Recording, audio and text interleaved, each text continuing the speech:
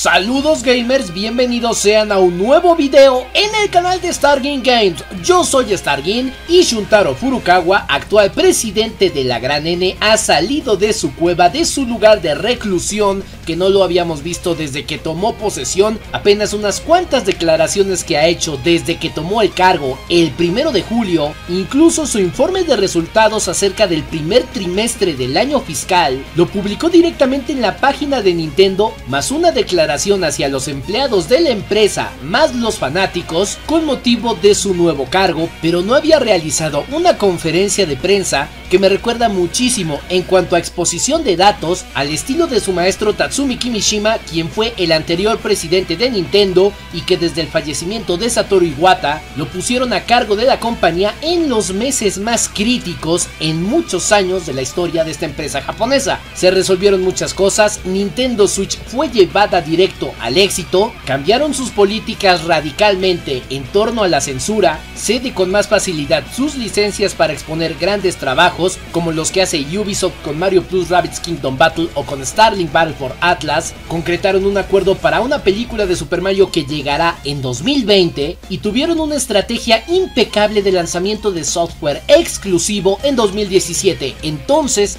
este informe de Furukawa me recuerda muchísimo al estilo de Kimishima a esa esencia, ojalá y ya vayan por el mismo camino, porque Nintendo desde que está Furukawa ha aflojado bastante, no se confrontaba directamente a la prensa, no era agresivo, porque aunque este evento era dirigido exclusivamente a los accionistas, no fue a puerta cerrada, pudo haber sido a puerta cerrada, pero fue público y se presentaron datos, muchísimos datos, que van de la mano con el reacomodo y la estrategia que va a tomar Nintendo en 2019, mejor dicho que ya está tomando. El mismo Shuntaro Furukawa lo dijo, a partir de este momento comienza la batalla por las campañas navideñas. Entonces ya se ve nuevamente ese brío de querer hacer las cosas para ganar, no para complacer a los usuarios o para contentar a los accionistas. Se ve que quieren arrasar el mercado muy diferente a esta estrategia pasiva en la que simplemente alimentaban de contenido a Switch, pero no se veía al cabecilla hablar de nada, no se veía al capitán comandando a su tropa. Y todos nos sentimos felices cuando el comandante nos echa un discurso, nos alienta para continuar.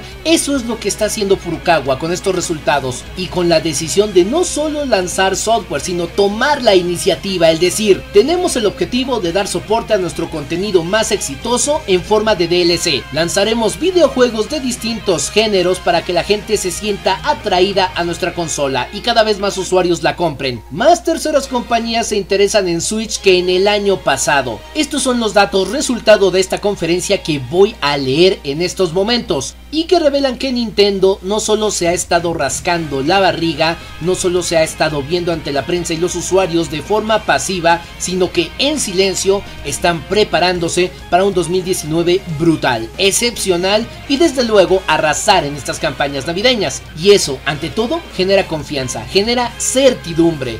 Comencemos con lo primero, el apoyo de las terceras compañías en Nintendo Switch ha incrementado mucho en 2018 en comparación al 2017. Y cito, en medio de este crecimiento constante en la base de negocios de Nintendo Switch, los editores de software también están estrenando muchos títulos y mostrando entusiasmo por Nintendo Switch como plataforma de videojuegos. Los editores de software han estado lanzando de todo, desde títulos que siempre se siguen vendiendo y atraen a muchas audiencias, hasta títulos que satisfacen a los fans dedicados de juegos y las ventas de estos productos han sido sólidas. Los títulos que se muestran son solo algunos ejemplos, y desde principios de otoño la alineación se ha mejorado con títulos que se venden muy bien, algunos de estos juegos son de editores de software que no hemos visto durante mucho tiempo en una plataforma de Nintendo y la emoción por Nintendo Switch está creciendo previo a la segunda temporada navideña del sistema.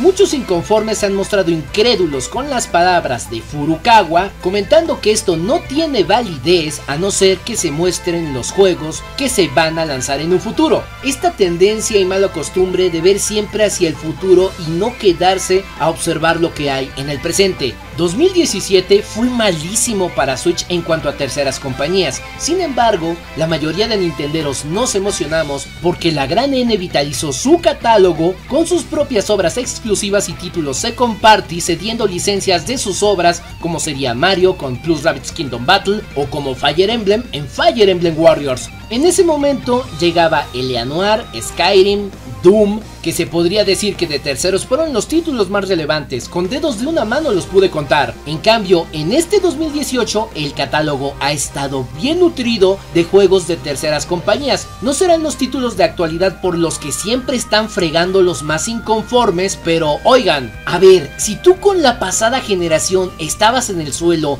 y nadie te tenía confianza, nadie daba un cacahuate por tu sistema y al inicio del nuevo tampoco daban un cacahuate, los tuviste que convencer con las ventas de la consola y los pocos terceros que se arriesgaban a publicar software y decían, estamos maravillados con las ventas, ha vendido muy bien, es fascinante, Switch es esto, Switch es aquello, y luego vienen estos incrédulos, estos inconformes que no necesariamente son haters, sino cortos de visión, porque ellos quieren el Resident Evil 2 Remake ya, ellos quieren ir a Automata, ellos quieren Spiro, ellos quieren Red Dead Redemption 2, o sea, la maldita segunda mitad de Wii y toda la generación de Wii U en el hoyo de las terceras compañías. Y lo quieren todo de sopetón. Oigan, no sean mamones. Perdonen la palabra, pero es que miran la maldita proporción de las circunstancias. Hagan un análisis objetivo al respecto. Ustedes solo dicen, no, es que a Nintendo le falta muchísimo. Sí, estoy de acuerdo, le falta muchísimo. Y se lo debemos de corazón a Satoru Iwata. Que no se nos olvide,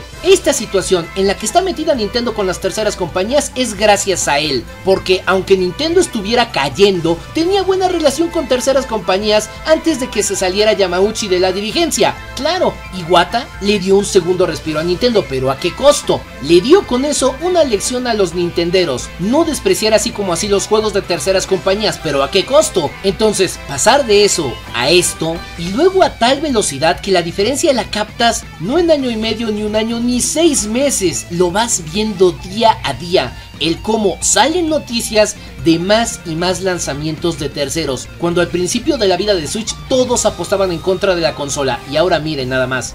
Y es precisamente el tema del que habla a continuación Shuntaro Furukawa. Y cito, una gran variedad de editores de regiones de todo el mundo y de todos los tamaños, incluyendo a desarrolladores independientes, se han subido al barco desde el lanzamiento de Nintendo Switch, Gracias a la temprana disponibilidad de un entorno de desarrollo, el número de editores ha aumentado aún más desde entonces y los nuevos títulos se están lanzando a un ritmo acelerado, dando a nuestros consumidores una elección cada vez mayor de títulos para elegir. También estamos notando en las redes sociales un mayor interés por parte de las empresas en desarrollar para Nintendo Switch y la venta de juegos.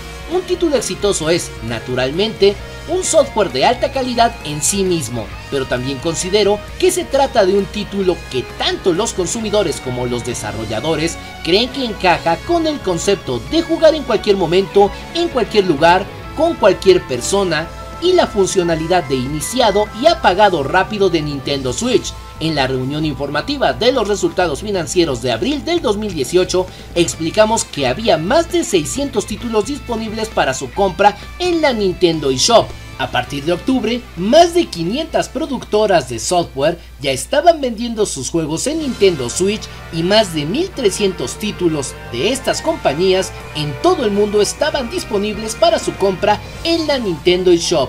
Planeamos lanzar una variedad de títulos de un número cada vez más grande de distribuidoras en el futuro, Nota, este es el número total de títulos disponibles para comprar en la Nintendo eShop para las diferentes regiones del mundo. El mismo título no se cuenta varias veces cuando es distribuido en la Nintendo eShop de más de un país. O sea, un total de 1300 títulos y 500 compañías desarrollando. Pero Stargin, es que todos esos juegos son basura. Ah, ¿qué acaba de decir Furukawa, genio? Un título funciona si está bien hecho. No puedes comprar masivamente un título que no tiene un mínimo de calidad, que no es bueno su gameplay o que no obedece a mecánicas adictivas. Y permítanme recordarles que estos juegos también salen en Steam y en PlayStation 4 y de por sí le quitan el miedo a las terceras compañías porque ven que ellos venden.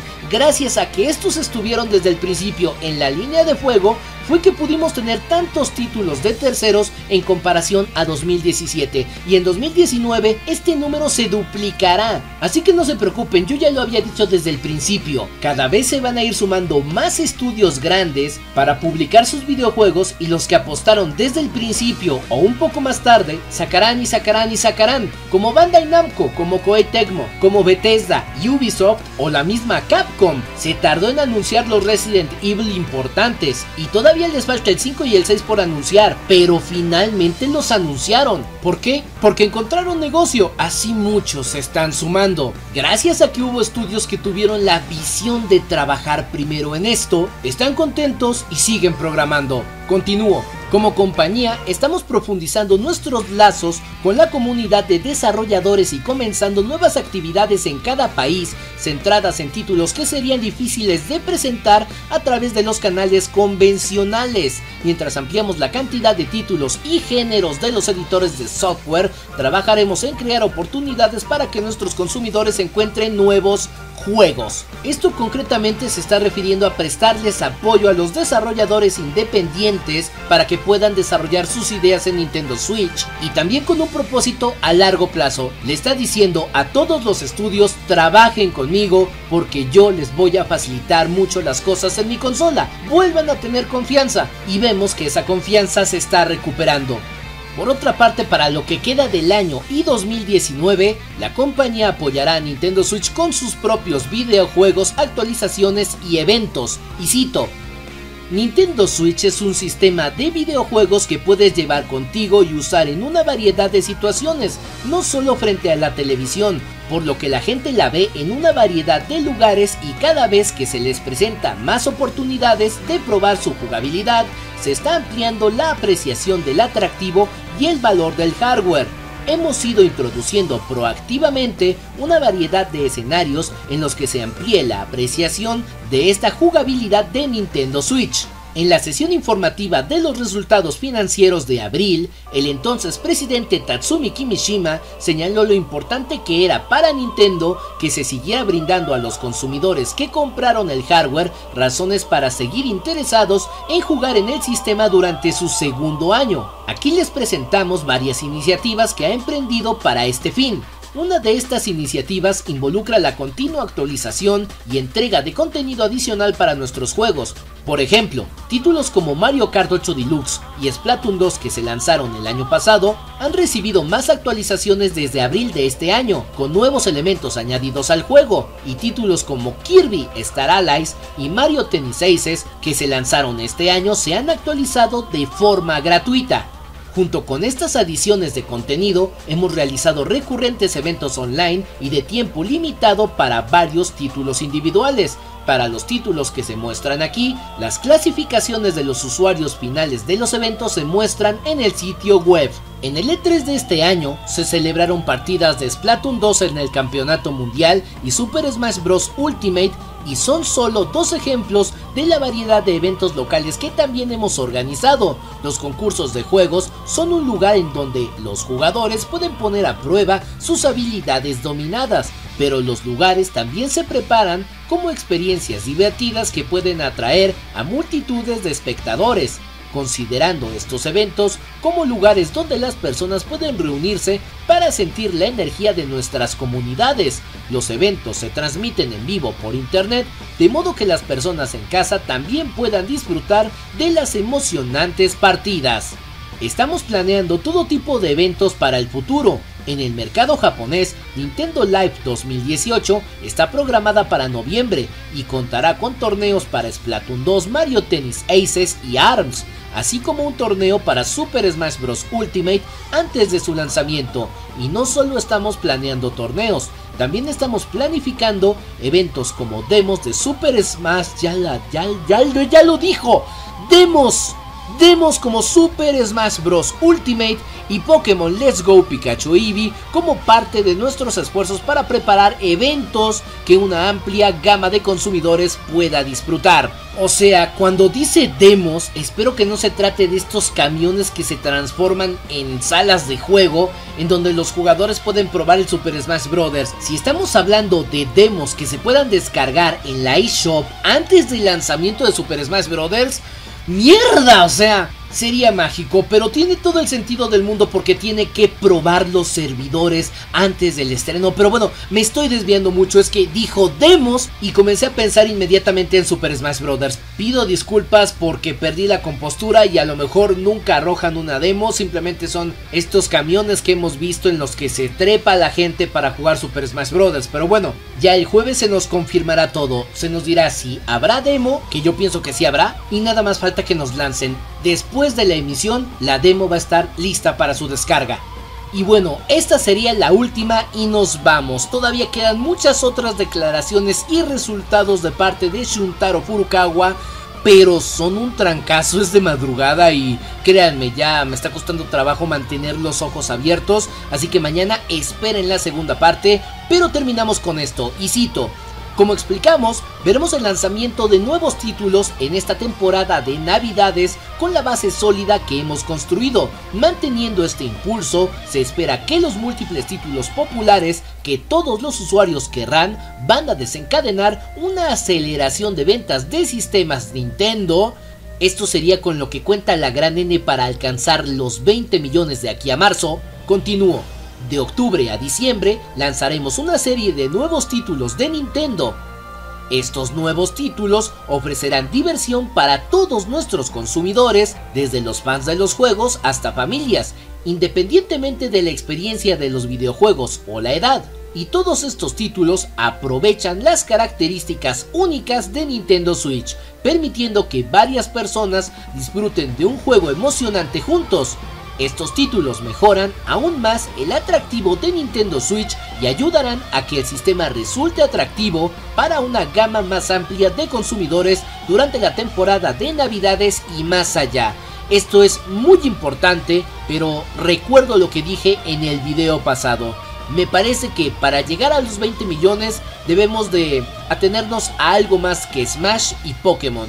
Y muy probablemente Nintendo ya lo esté pensando de esa manera, así que tiene que nutrir bien tanto enero como en febrero y marzo el catálogo de Switch para llegar al número deseado. Y si por alguna razón les cuesta trabajo mantener el interés del público, tendrán que echar bombas de humo para que se venda esa cantidad de consolas. Antes de que acabe el periodo fiscal, se tiene que anunciar algo de Bayonetta, de Metroid, de Fire Emblem, de Luigi's Mansion 3, de Damien X Machina, alguna o que otra sorpresa, franquicia revivida o algo así, y una nueva Así que Nintendo no nos puede decepcionar, nos tiene que impresionar, porque desde mi punto de vista tiene todas las armas y el marketing para hacerlo, pero para usarlas debe tener la voluntad, ser más agresivo, y bueno gamers, esto ha sido todo, espero les haya gustado este video y para la siguiente entrega, hablando del informe de Shuntaro Furukawa, esta parte mostrará el rendimiento comercial, o sea las ventas, de Super Mario Party, de Octopath Traveler, Mario Tennis Aces y el ritmo de crecimiento de software comparándolo con el hardware. Y me gustaría mucho conocer su opinión en la caja de comentarios nos veremos en futuras entregas aquí en Stargame Games. Y si quieres formar parte del crecimiento de este canal, ponle un pulgar arriba a este video, compártelo con tus amigos y regálame una suscripción. Te estaré tremendamente agradecido. Porque la TV también es gamer. Un abrazo, beso para todos y chao.